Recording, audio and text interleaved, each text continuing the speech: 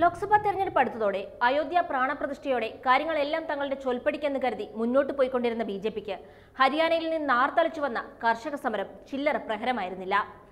ബുൾഡോസറും അള്ളും ബാരിക്കേഡും മുള്ളുവേലിയുമെല്ലാമായി കർഷകരെ പ്രതിരോധിക്കാൻ ഡ്രോണിൽ കണ്ണീർവാതകം വരെ വീഴ്ത്തിയ ബി ജെ പിക്ക് കർഷകരോഷം അടിച്ചമർത്താനായില്ലെന്ന് മാത്രമല്ല തിരഞ്ഞെടുപ്പിനെ ഇതെങ്ങനെ ബാധിക്കുമെന്ന പേടിയുമുണ്ടാവും. അതിനിടയിലാണ് ഇലക്ട്രൽ ബോണ്ട് എന്ന ബി ജെ പിയുടെ വിവാദ സംഭാവന സ്കീമിന് സുപ്രീം കോടതി പൊളിച്ചടക്കിയത്. ഇലക്ട്രൽ ബോണ്ട് എന്ന പേരിൽ സ്രോതസ് വെളിപ്പെടുത്താതെ ധനസമാഹരണം നടപ്പാക്കിയ ബി ജെ പിയെ ഇത് ഭരണഘടനാ വിരുദ്ധമാണെന്ന് പറഞ്ഞ് റദ്ദാക്കുക വഴി കടുത്ത അടിയാണ് സുപ്രീം കോടതി നൽകിയിരിക്കുന്നത്. തിരഞ്ഞെടുപ്പ് അടുത്തിരിക്കെ ഉണ്ടായ ഇത്തരം തിരിച്ചടികൾ ബി ജെ പിയെ ഒന്ന് ഉലച്ചിട്ടുണ്ട്. രാജ്യസഭാ തെരഞ്ഞെടുപ്പാണ് ആദ്യം നടക്കുന്നതെങ്കിലും അതിൽ ജനങ്ങളുടെ പ്രതികരണവും ഇടപെടലും ബാധിക്കില്ലെങ്കിലും ലോക്സഭാ തെരഞ്ഞെടുപ്പിനെ ബാധിക്കുന്ന രീതിയിൽ ഒരു അസംതൃപ്തി ജനങ്ങൾക്ക് ഉണ്ടാകരുതെന്ന നിശ്ചയദാർഢ്യത്തിലാണ് ബി ജെ പി നീങ്ങുന്നത്. അടിമുടി ഒരു മാറ്റത്തിനാണ് രാജ്യസഭാ തെരഞ്ഞെടുപ്പിൽ നരേന്ദ്രമോദിയും അമിത്ഷായും തന്ത്രം മെനയുന്നത്. ഇപ്പോൾ രാജ്യസഭയിലുള്ള പുറത്തേക്ക് പോകാനിരിക്കുന്ന ബി ജെ പി അംഗങ്ങളിൽ ഭൂരിഭാഗവും തിരിച്ച് അപ്പർ ഹൗസിലേക്ക് വരേണ്ടെന്നാണ് മോദിയുടെയും അമിത്ഷായുടെയും തീരുമാനം. ഇപ്പോൾ ഇറങ്ങുന്നവരിൽ വീണ്ടും നാമനിർദ്ദേശം ചെയ്തവരിൽ നാല് പേർ മാത്രമാണുള്ളത്. ഏഴ് കേന്ദ്രമന്ത്രിമാർ രാജ്യസഭയിൽ നിന്നുണ്ട് ബി ജെ പിക്ക്. ഒറ്റൊരാളെ പോലും ഇതുവരെ രാജ്യസഭാ സ്ഥാനാർത്ഥിയായി കേന്ദ്രം ഭരിക്കുന്ന പാർട്ടി നോമിനേറ്റ് ചെയ്തിട്ടില്ല.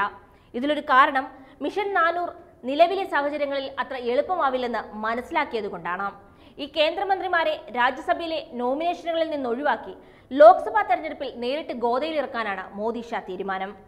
ഗുജറാത്തിൽ നിന്ന് രാജ്യസഭയിലെത്തിയ ആരോഗ്യമന്ത്രി മൻസുഖ് മാണ്ഡവ്യ മധ്യപ്രദേശിൽ നിന്നെത്തിയ വിദ്യാഭ്യാസ മന്ത്രി ധർമ്മേന്ദ്ര പ്രധാൻ കർണാടകയിൽ നിന്ന് രാജ്യസഭയിലേക്ക് എത്തിയ ജൂനിയർ ഐ മന്ത്രി രാജീവ് ചന്ദ്രശേഖർ എന്നിവരുടെ പേരും രാജ്യസഭാ നോമിനേഷൻ പട്ടികയിലില്ല. രാജസ്ഥാനിൽ നിന്ന് അപ്പർ ഹൗസിലെത്തിയ പരിസ്ഥിതി മന്ത്രി ഭൂപേന്ദർ യാദവ് ഗുജറാത്തിൽ നിന്നെത്തിയ ഫിഷറീസ് മന്ത്രി പർഷോത്തം രൂപാല കൂടാതെ മഹാരാഷ്ട്രയിൽ നിന്നുള്ള മൈക്രോ ഇടത്തരം വ്യവസായ മന്ത്രി നാരായൺ റാണെ എന്നിവരും ബി പട്ടികയ്ക്ക് പുറത്താണ്.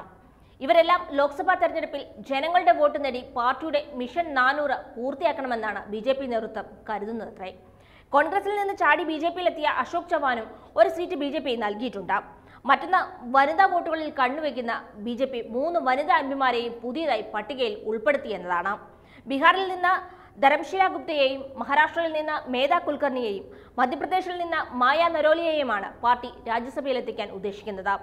കഴിഞ്ഞ വർഷം നവംബറിൽ നടന്ന അഞ്ച് നിയമസഭാ തെരഞ്ഞെടുപ്പുകളിൽ കേന്ദ്രമന്ത്രിമാരെ അടക്കമിറക്കി മൂന്ന് സംസ്ഥാനങ്ങൾ പിടിച്ചതിന്റെ ആത്മവിശ്വാസത്തിലാണ് ലോക്സഭാ തെരഞ്ഞെടുപ്പിൽ ബി അതേ തന്ത്രം പയറ്റാൻ ഒരുങ്ങുന്നത്. വാർത്തകൾ വേഗത്തിലറിയാൻ ഞങ്ങളുടെ യൂട്യൂബ് ചാനൽ സബ്സ്ക്രൈബ് ചെയ്യൂ.